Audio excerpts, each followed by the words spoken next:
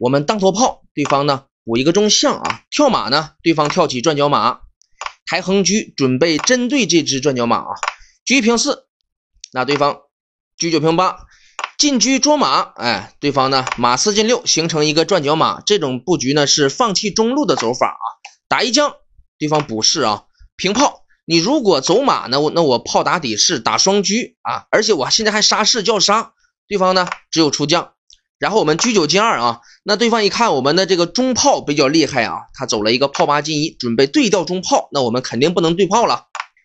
平车一将，他不能进将，进将我们杀士，他只有电炮啊，那然后接下来我们强行的弃车杀炮一将，他如果进将，我们就杀底士叫杀，后边有一个炮啊，他只有支掉，然后再次弃车。车四平六，对方只有吃掉。记住，这里边一定要走一个炮四平六啊，你不能走这炮五平六啊，叫先走炮四平六啊，用中炮控制住他老将，不让他进中，他一落士，再走一个平炮，绝杀没解。